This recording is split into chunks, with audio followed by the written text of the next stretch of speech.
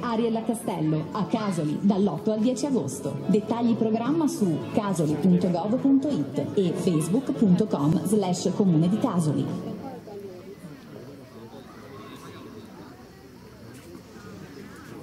Buonasera, benvenuti e ben ritrovati alla quinta edizione di Ariella Castello, Festival d'Annunziano a cura del Comune di Casoli, assessorato alla cultura. Andiamo avanti con due autrici.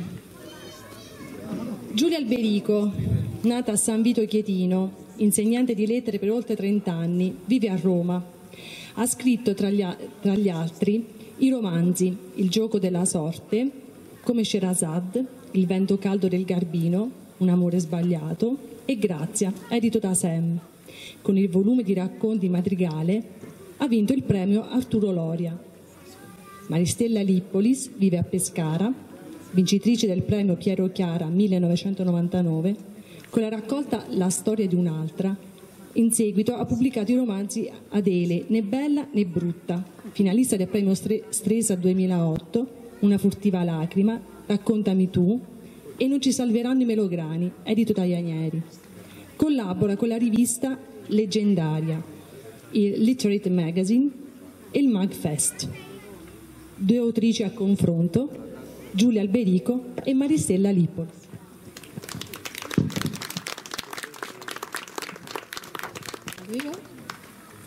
Va bene, allora buonasera, grazie a tutti e a tutte per essere qui e come avrete capito insomma, da questa presentazione sì. eh, sarà un dialogo tra me e Giulia Alberico che abbraccerà un po', poi vediamo insomma, se ci riusciamo, ma abbraccerà un po' mm, eh, le nostre scritture, quello che abbiamo fatto finora, eh, i nostri libri, quindi le protagoniste dei nostri, eh, dei nostri romanzi, perché entrambe scriviamo, scriviamo romanzi.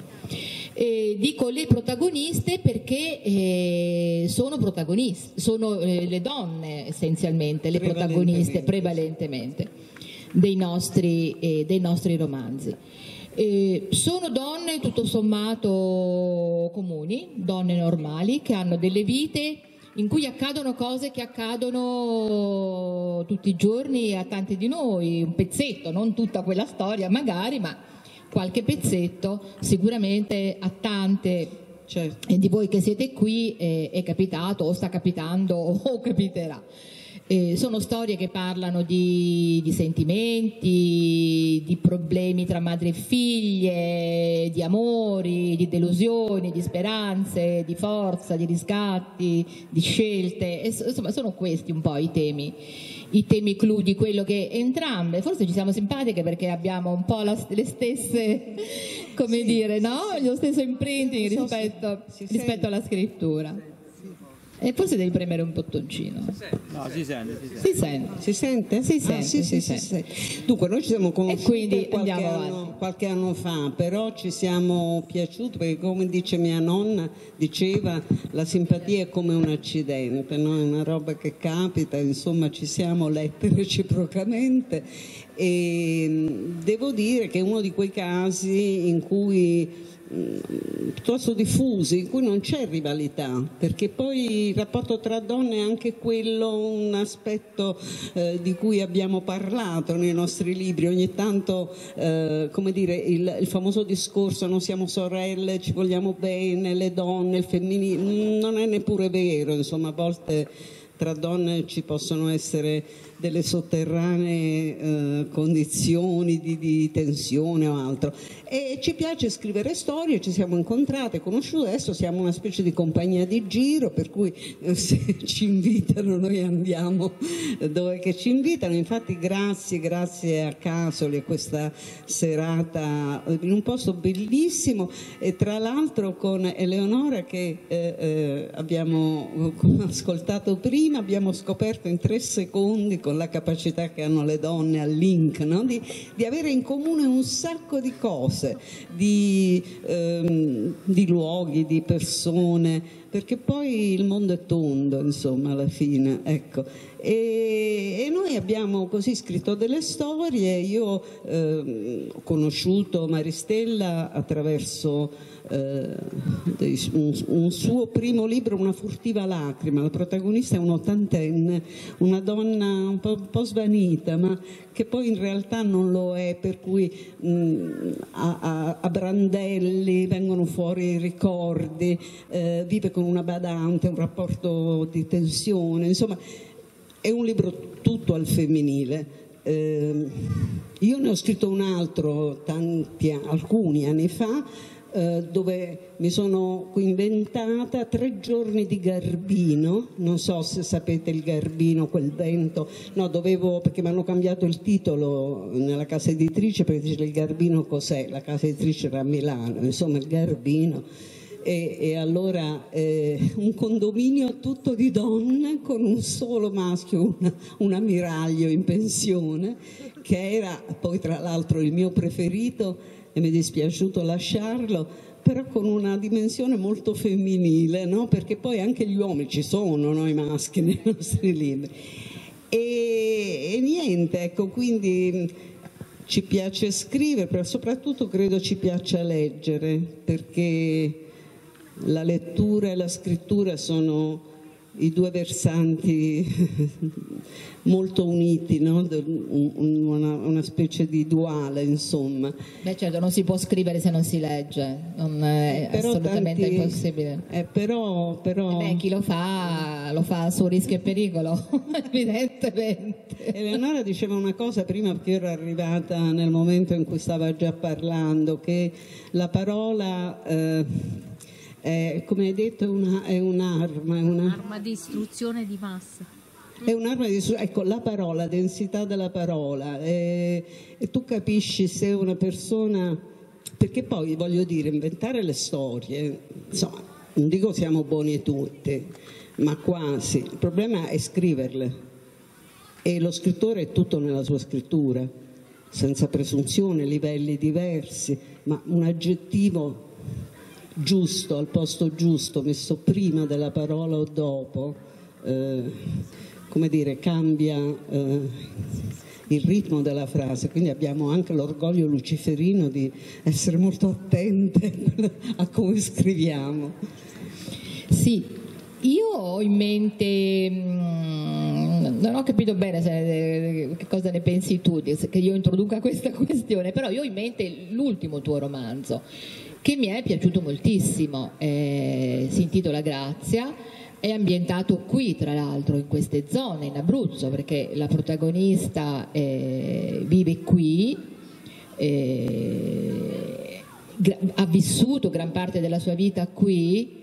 E in questo romanzo c'è un condensato delle, secondo me, delle tue abilità di scrittrice perché c'è una messa in scena di sentimenti eh, femminili molto forti come il rapporto madre-figlia, per esempio, no? come conflitto eh, madre-figlia, come, mm, come, posso dire, senza dire delle cose pesanti, come una certa eh, modalità che a volte abbiamo incontrato dell'essere madre, no? mm, improntata alla rigidità, a una certa rancorosità nei confronti della figlia, a una pretesa e di conseguenza ad un atteggiamento speculare no? di una figlia che, non, eh, che vive con, eh, dire, con, disagio, insomma il rapporto con una madre apparentemente inaffettiva, comu- anaffettiva e comunque autoritaria.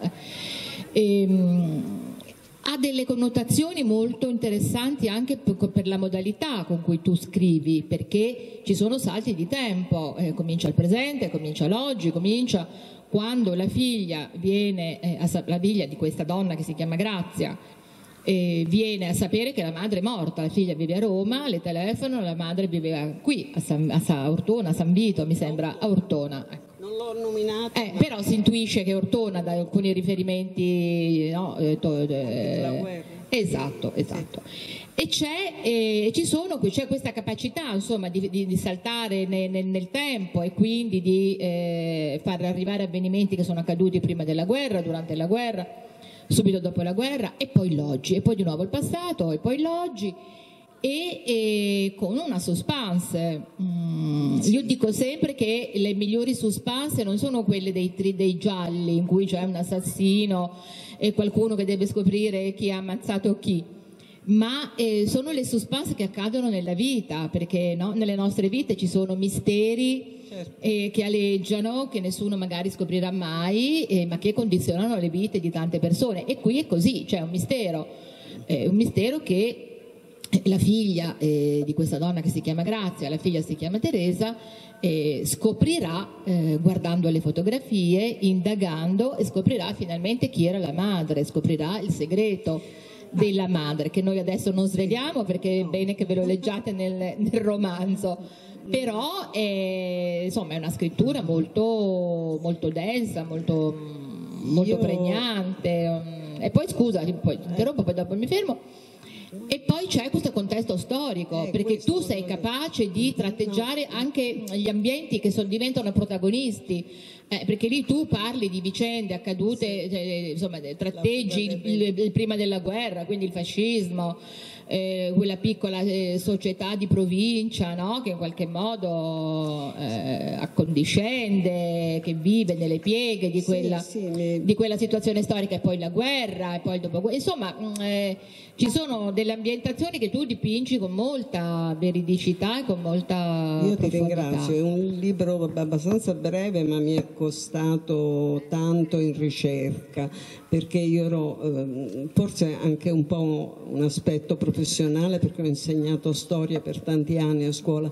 E come dire ancora sui manuali c'è la si parla della fuga del re da Pescara, no? il re non è mai fuggito da Pescara, è, è salpato da Ortona, sono... quindi ehm, qui c'era la linea eh, Gustav, insomma mh, ci sono state tantissime eh, cose. E quindi ho cercato, ricostruito un po', eh, però la grande storia e le storie si intrecciano anche nel libro suo, adesso tanto per parlare dei nostri due ultimi lavori, il suo più recente, questo non, sal- non, ci salveranno i melograni, io continuo a dire che è un titolo bellissimo che mi fa pensare al principe Mishkin, la bellezza ci salverà, non, ci sa- non lo so se ci salverà la bellezza a noi tutti oppure qui i melograni no. Ecco, è la storia di Laura che è una quarantenne avvocato di una città della costa adriatica che va in Croazia a fare un viaggio di piacere, insomma un'estate, bisogna stare da sola. E va in un'isola e si ferma, conosce, ma ci sono vari incontri e alla fine non alla fine, alla fine dell'estate decide di non tornare indietro e di restare eh, in qualche modo ha trovato anche un maternage in una eh, donna eh, del posto, non si capiscono, hanno due lingue diverse ma si intendono. E anche lì poi pure, pure te tema della madre, della maternità torna, forse insomma non è che siamo molto originali ma credo sia uno dei nodi eh, delle, del femminile anche, no? questo dell'essere figlia o essere madre e non essere sufficientemente buone madri o buone figlie.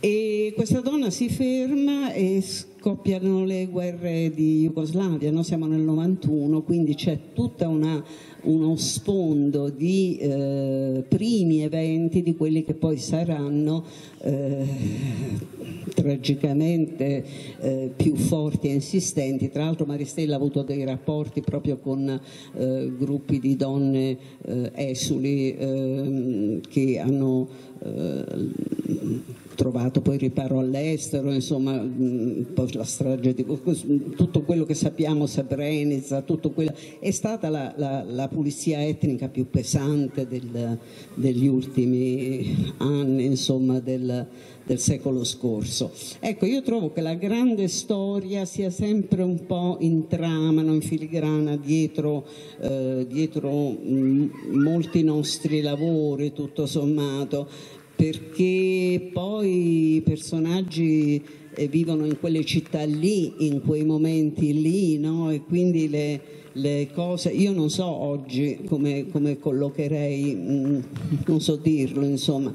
E, e il discorso della scrittura comunque non è solo avere l'idea, è, è anche un paziente lavoro, secondo me, io almeno lo vivo così, di falegnameria, cioè bisogna essere degli artigiani molto seri, cioè scomporre, levigare.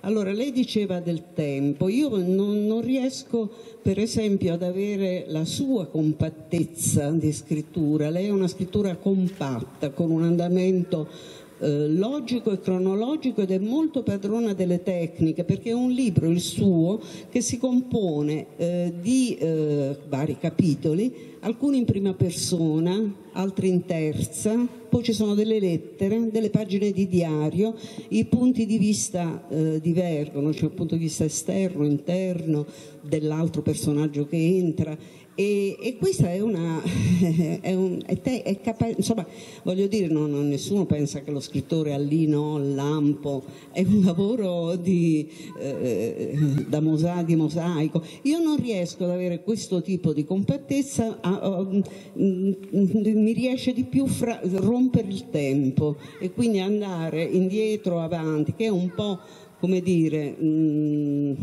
funzionale poi magari alla storia eh, nel caso specifico Grazia, che dà il titolo al libro, non, non c'è nel libro. Cioè il libro si apre con questa che è morta, però in realtà sta dappertutto fino alla fine ed è il racconto di una possibile eh, riparazione che eh, la figlia riesce eh, forse a raggiungere quando non può più, peraltro, celebrarla con la madre reale, però è un problema uh, appunto interno. Però tornavo a dire, le storie sì, ma uh, la, mh, mm, e bisogna dare secondo me anche ascolto a se stessi. Io avevo un'amica molto molto più grande di me, una donna su Cecchi d'Amico che ho conosciuto per caso una donna di raro garbo e mi diceva Giulia rileggi ad alta voce, rileggi ad alta voce e senti se,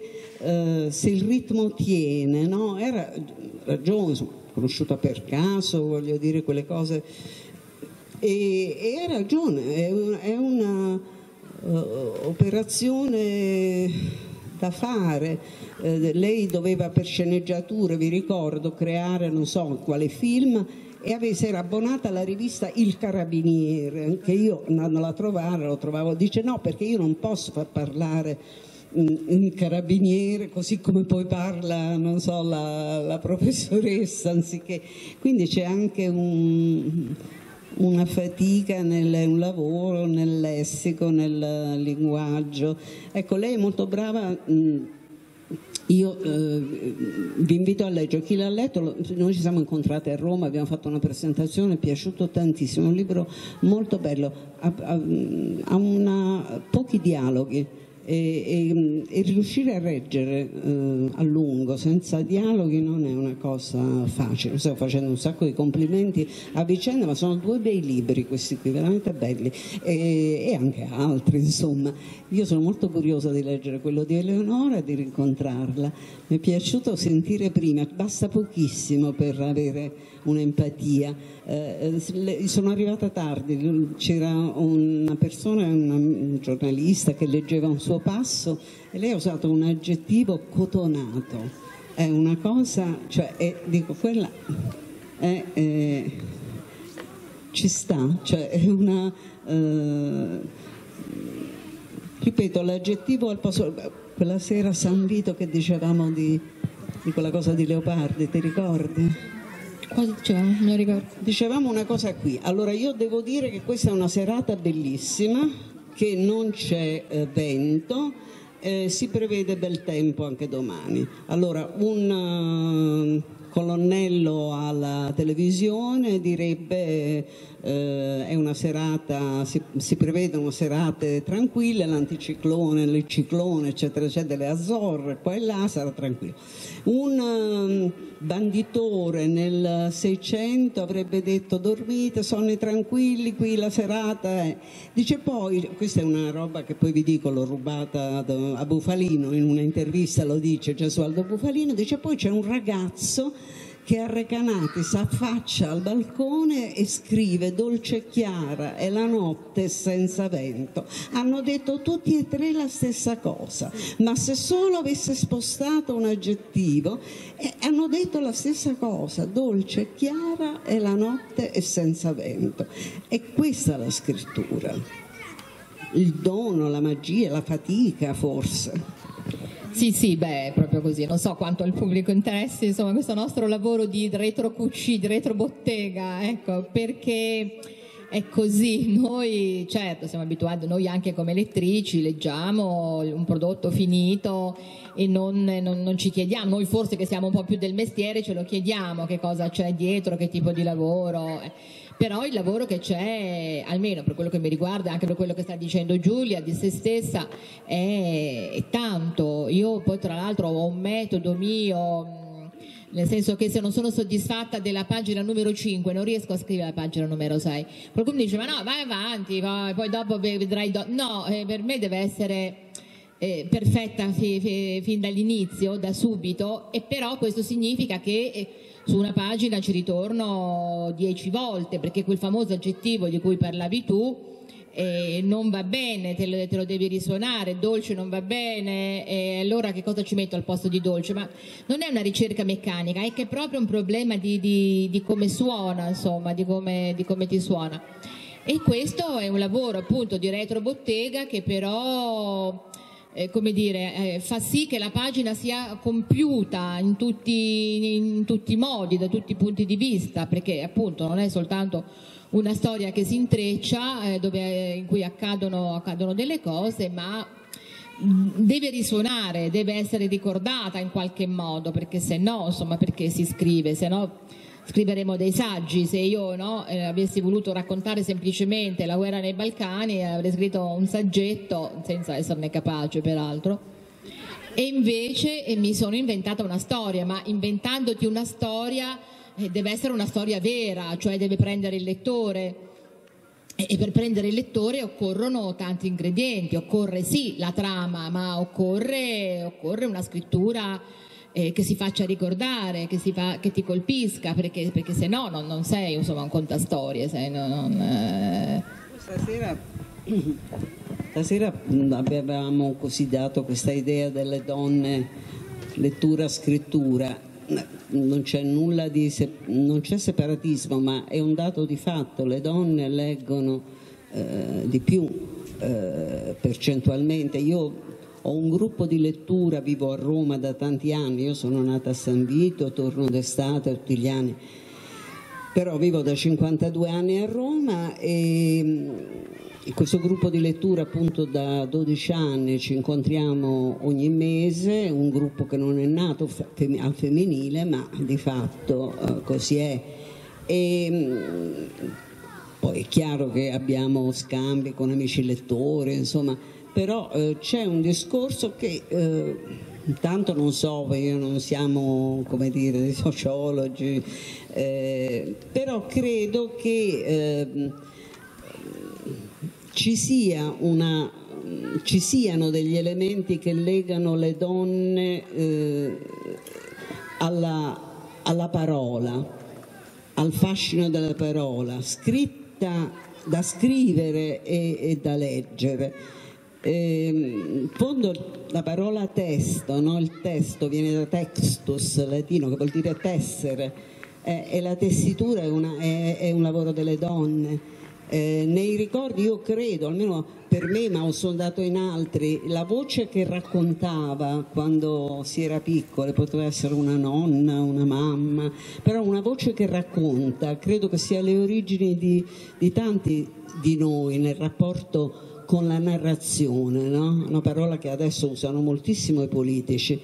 La, narrare, sentire, uh, raccontare una storia ed è uh, una voce che racconta, quindi non un, uh, io un anno avevo una sesta ora terribile con gli alunni e decisi che avrei letto ad alta voce.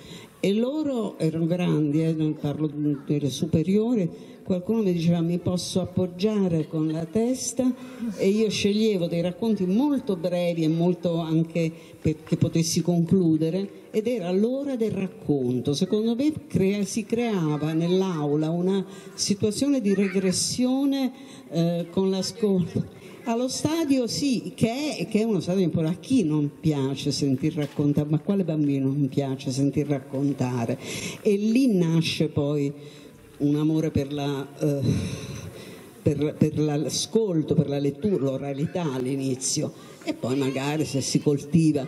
E in genere è un qualche cosa che sta nell'ambito femminile, anche se io ho avuto zio Rodolfo che mi raccontava delle cose meravigliose del, dell'Etiopia dove era stato prigioniero e credo che si accendessero così tante mie geografie mentali, insomma, quindi per carità, però è una dimensione più praticata, no?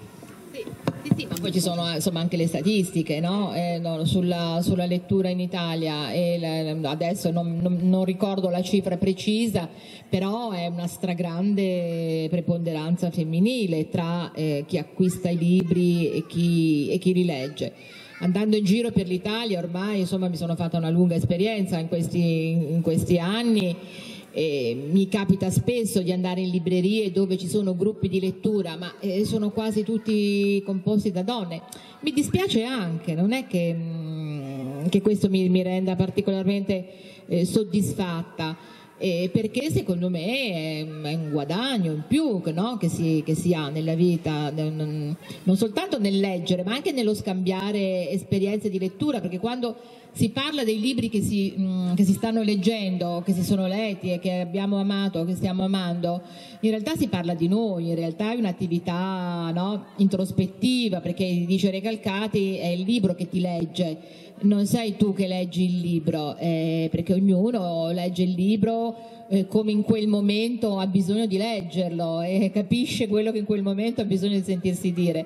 E, e quindi in questo senso è il libro che ti legge e quindi insomma eh, l'attività di lettura è un'attività di, di, poi alla fine di introspezione. Quindi sono gli editori ah, ci sono gli editori beh, per carità. ma, beh, ma, perché le posizioni di potere in genere ce l'hanno gli uomini quindi eh, editare libri comunque è una posizione di potere. Poi vabbè, si può discutere nei casi specifici. Però è, però è così.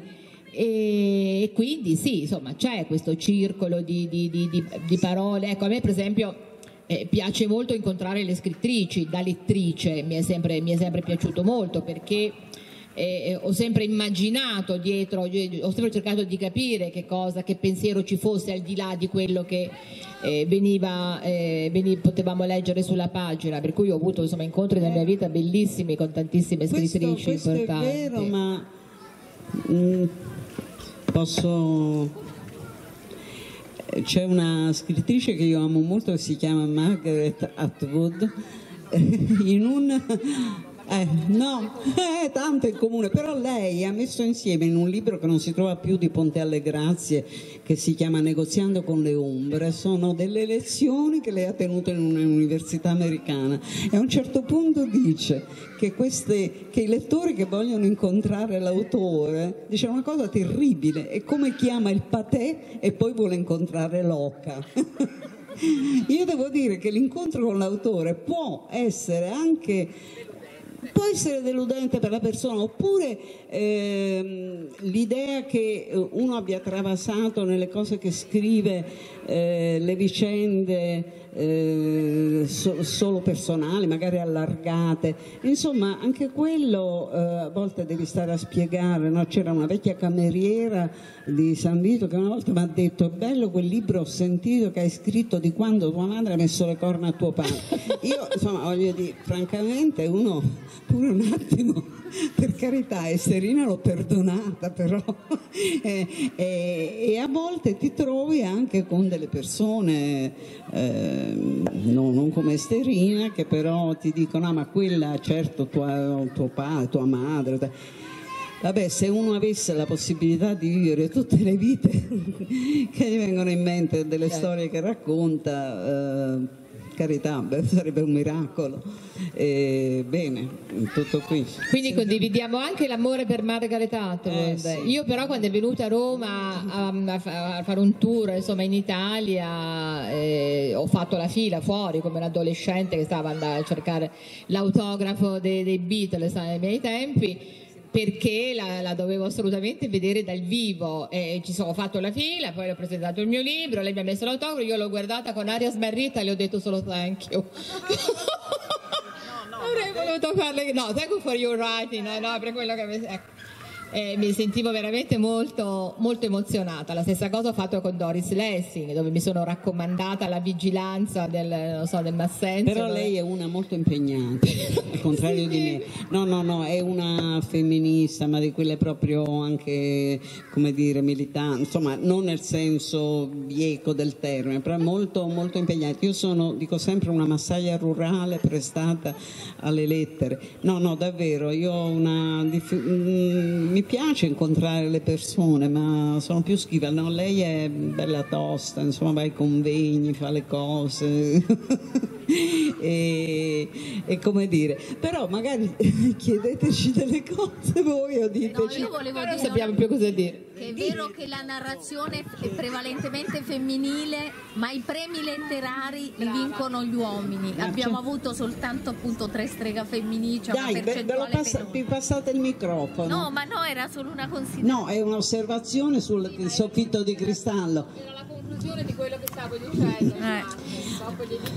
No, no, perché parliamo, te l'avevo detto. No, ma lei diceva anche in No, chiusura. intanto vabbè, ritengo che ci sia una, una discriminazione nei confronti delle donne che poi è stata confermata da questo strega, non ne parliamo perché Sì. anche nell'ultimo strega c'erano due romanzi femminili che erano nettamente eh, superiori, secondo me, non solo secondo me, anche premiabili, ma poi la percentuale nel mondo, ma soprattutto in Italia, In Italia? eh, di vincita di premi eh, assolutamente solo sul maschile per quanto riguarda la, la narrativa cosiddetta alta, diciamo. Quindi eh, nonostante noi eh, abbiamo lo zoccolo duro di lettori, di Certo. E nonostante siamo anche più prolifiche come scrittura, nonostante questo comunque tendono gli uomini a relegarci o a relegarci nel- nei generi, quindi la, la chick lit, il romance, eccetera, oppure a, a premiarsi poi sempre tra di loro. Beh, ma è una realtà eh, molto italiana. Eh, diciamo, credo, non so, però Francia e Spagna già, Spagna sta molto più avanti di noi da questo punto di vista, anche come editoria proprio. In Italia, insomma, penso che Vabbè, sarebbe un discorso troppo, però fare l'editore, il piccolo editore indipendente è, è da, chiede grande coraggio, insomma. Eroico. eh. È eroico, sì, e anche eh, scrivere ehm, delle buone storie con una buona scrittura. eh, se tu, come dicono a Roma, non ti fai un mazzo tanto, ehm, non arrivi più di tanto, nonostante possa, beh, come dire, lo fai con convinzione, vai, incontri le persone, si crea un feeling, però poi i giochi sono fatti da da altri, altrove, no? E, e, io non so, ho letto le cose del premio Strega, io co- come gruppo di lettura abbiamo letto sia la Durastanti che Terranova, che abbiamo avuto ospiti anche a Roma, Eh, però quello dello Strega, vabbè, è un caso, insomma, il premio più importante, però certo si sa che è un po' così. E, ecco, tu lavori in una casa editrice, quindi ci potresti anche forse dire la tua su, su quelle che possono essere le politiche editoriali. Certamente oggi un libro non entra nella, a parte che eh, c'è un declino verticale della lettura, cioè il forte lettore è chi legge un libro al mese, 12 libri l'anno, ma insomma che è ritengo sì veramente e, e poi, e poi se non eh, nelle top sono sempre un po' gli stessi nomi, no? quindi il giallo tira molto, come c'è stato il periodo della cucina, no? tutte cose con i cini, insomma a un certo punto in Italia ci sono eh, anche delle mode. Dico, dico, in Italia perché mi pare che tra Germania e Francia sia diverso, leggiamo nel gruppo non io personalmente, ma anche in lingua molte persone, quindi non so, io ho letto un librino eh, di recente di Ursweil, eh, di Keller editore, che è un piccolissimo editore, Il più grande amore di mia madre, delizioso, 100 pagine, non di più, ma se quello vende mille copie deve essere... Eh, ma l'avevo... Ah, forse Sono tante, oramai si va a accedere, eh, perché, eh, eh, perché poi appunto eh, questo deve vincere un premio. deve vincere un premio. Leonora no, dice, no, volevo dire, lo dicevo prima, eh, siamo, siamo arrivati a 80.000 pubblicazioni all'anno e siamo... Ah, sì e siamo scesi come media, no? eravamo come media un libro all'anno in Italia, sì. adesso siamo scesi quest'anno ah. a mezzo libro. Ah, no? Alla... Non lo sapevo. No, quindi dico, eh, aumentano le pubblicazioni e diminuiscono i lettori. Quindi il marketing è totalmente deformato sì. e anche riguardo alle scelte editoriali adesso si fa un tipo di scouting eh, un po' particolare, certo, no? si certo. va a cercare il VIP a cui sì, far, sì, sì, sì, quindi è un mercato viziato, come rimane per me una cosa ormai amatoriale, no? Si scrive solo per la passione, no, ormai per la passione. Per la, per, e per gli lettori, insomma, quando c'è l'incontro poi con i lettori è una cosa molto, molto emozionante, no? quello che torna indietro è come dire, è come quando si va a cinema e si vede un film insieme, come sognare insieme, come eh, trovare riscontro su delle pagine che uno ha scritto è un'emozione, insomma, eh, sicuramente. Io eh, vogliamo leggere, voglio leggere un pezzo tuo. No. Mi vuoi indicare? Uh, quello delle, delle Diomedee. Per le Diomedee l'inizio? Sì, mi piace molto. Leggiamo l'incipit. Ah, bene, io non mi ricordo. Quanto? No, per carità. Ah no. Voglio dire tutto, non, l'incipit. Facciamo qualche salto. E poi se, siccome io ho dimenticato di avere un, un mio libro, se ne prestate una copia di grazia poi vorrei leggere l'incipit. No, no, non lo so leggere. No. Ce l'avete grazie? Sì, ce lo presta l'editore, grazie. Sono con... Ho una tale fiducia in me stessa che non... Sì, sì.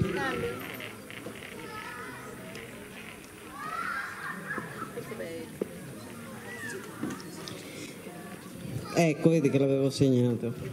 No, io faccio non molto perché sennò ci si annoia. E, nel suo libro, il suo libro ha una, secondo me una trama sonora molto forte. Comincia con questo canto delle Diomedee, che sono questi uccelli marini che stanno da queste parti verso le Tremiti e poi c'è a un certo punto la comparsita e poi ci sono le, i rumori della risacca del mare, è pieno di suoni questo suo libro.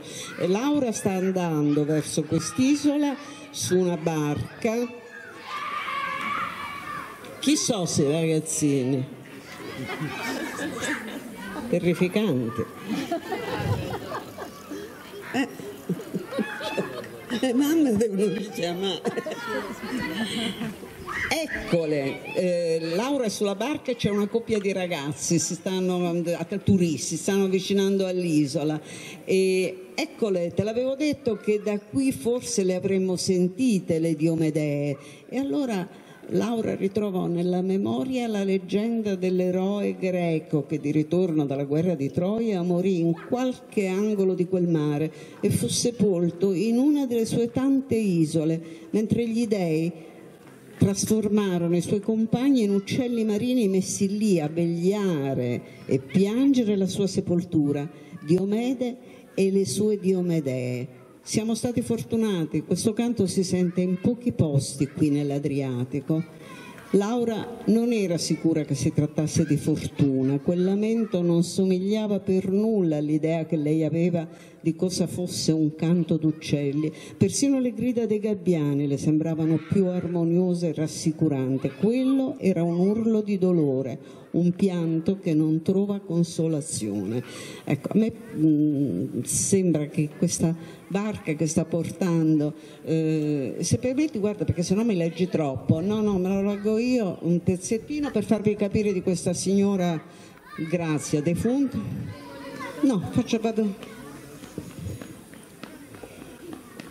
Già dalle scale un lieve sentore di Mitsuko parlava di grazia.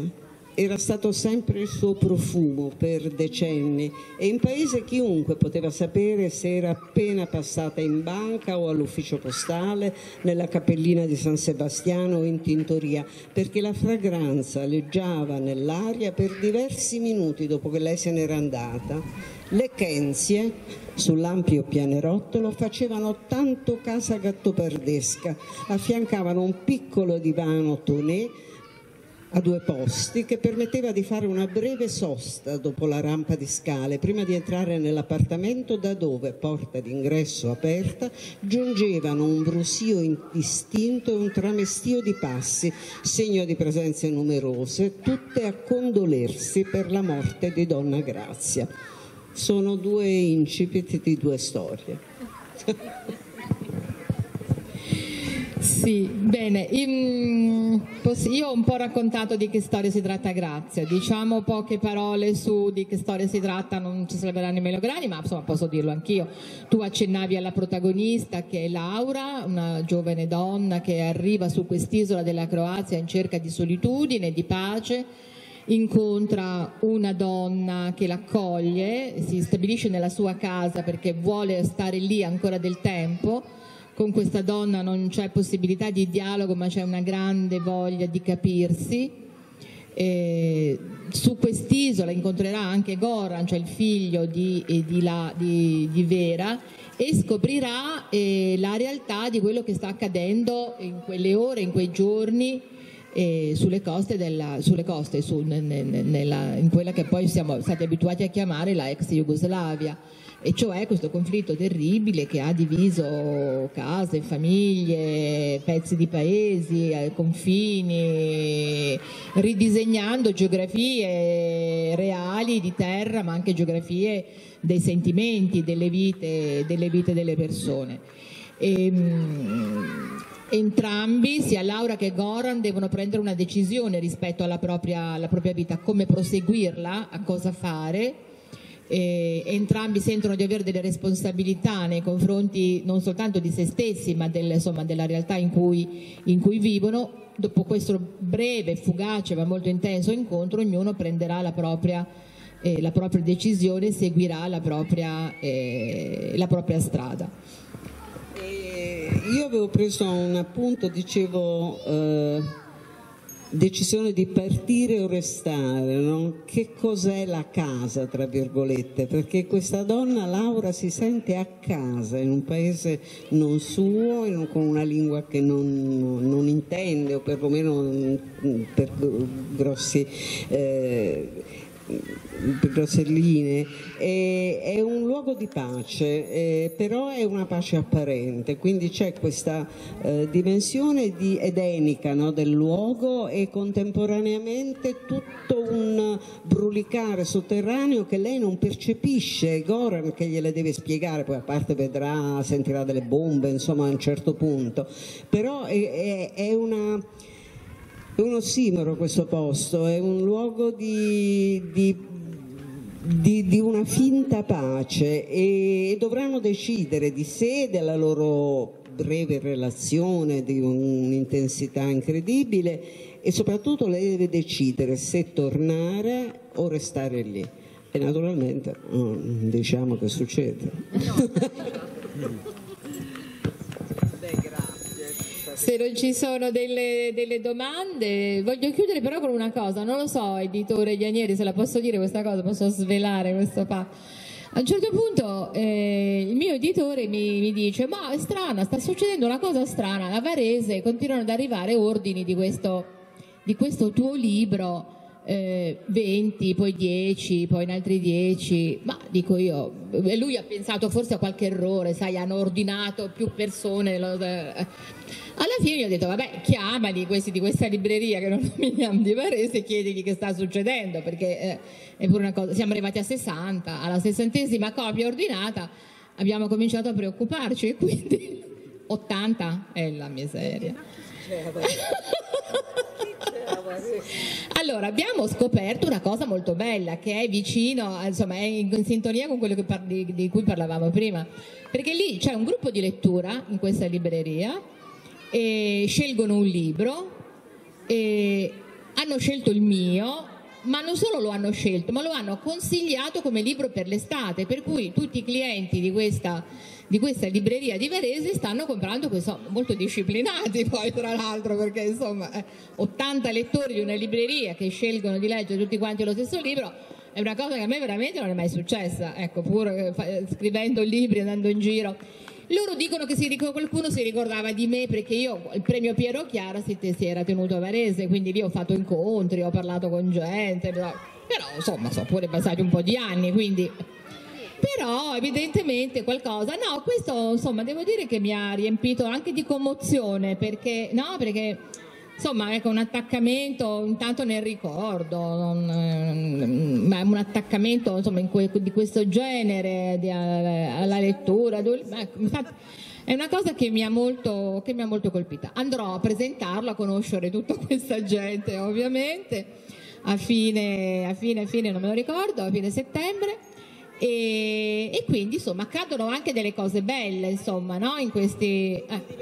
i gruppi di lettura funzionano anche mh, nelle scuole se un insegnante motivato riesce a, a, giocare con un numero di copie insomma incontrare far lavorare i ragazzi no, i gruppi di lettura funzionano eh, e ce ne sono tante stanno nascendo sempre più in librerie o anche in case private eh, almeno a Roma ce ne sono tantissimi. E devo dire che poi certo non faranno eh, numero per le top ten perché è difficile poi che un gruppo di lettura scelga un libro Mm, che è eh, nelle classifiche, eh, ma, ma, non per, però è proprio come dire ci si affeziona a un autore, a un genere, eh, oppure si decide di tornare. Adesso io sono sicura che a settembre, siccome è mancata da poco Toni Morrison, che insomma è una grande donna, grande scrittrice, io credo che rileggeremo. Sono rischizzate le vendite di Amatissime. Ah, in due giorni sono rischizzate. Beh, mi manca però, insomma, credo, noi avevamo letto il dono di lei che è, è, molto, è uno dei più difficili, Sula, l'occhio più azzurro, però torneremo, sono, sono certa, è successo anche per Roth, insomma, oppure ecco qualcuno ha letto una cosa che, che gli è la, magari di una piccola casa, insomma, editrice e sono spesso queste situazioni di nicchia. Ecco, proporrò, eh, sicuramente noi a Roma ci siamo già incontrate in una libreria, parlo di un'altra, non ci salveranno i melograni. Allora, possiamo concludere dicendo che pensavamo che ci salverà la bellezza, non si sa, la bellezza, la bellezza si sa ci salveranno i melograni? Non si sa, lì c'è qualche dubbio sul fatto che i melograni ci possano salvare, poi insomma lo lasciamo alla, alla curiosità del, delle lettrici e dei lettori, però i libri forse ci salveranno, almeno questo lo possiamo, no? Lo possiamo sperare, almeno, ecco, almeno, almeno que- ci salveremo in proprio perché poi... della nazione cruciale Perciò. da 48 ore. Speriamo che ci salvi almeno la lettura. E speriamo che leggano di più anche Eh, eh beh, eh, appunto, in quel senso lì. Grazie, siete stati, come dire, molto, molto carini. Grazie.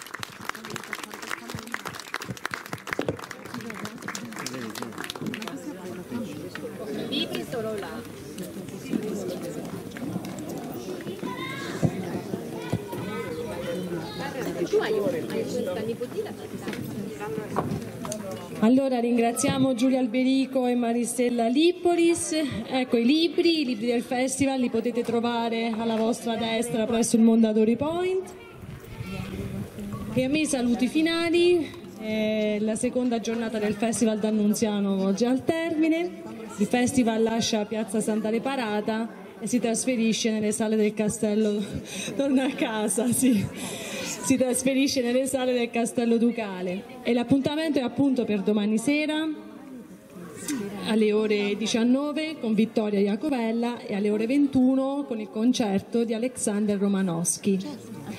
Io prima di salutarvi faccio i consueti, i consueti saluti ai nostri partner, partner istituzionali, provincia di Chieti, comune di Casoli, la Fondazione Vittoriale degli Italiani e Gabriele D'Annunzio 1915-1918, i partner tecnici, Ianieri Edizioni, D'Amico, Idee per, Abi- Idee per, per Abitare e Moldadori Point di Casoli in via Selvapiana e poi i, nostra, i nostri media partner Radio Delta 1 e www.casoli.org. Buonanotte e a domani.